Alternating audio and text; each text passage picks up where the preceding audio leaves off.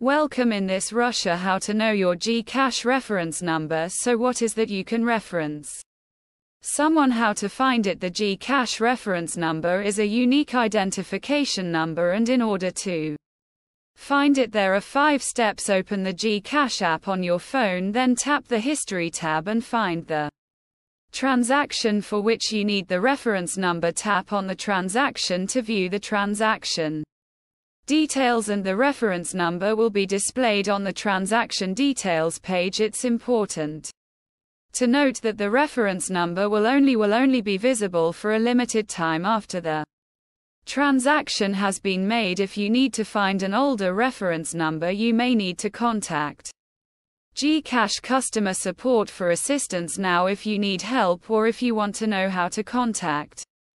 the Gcash customer support make sure to watch this video on your screen well this is pretty much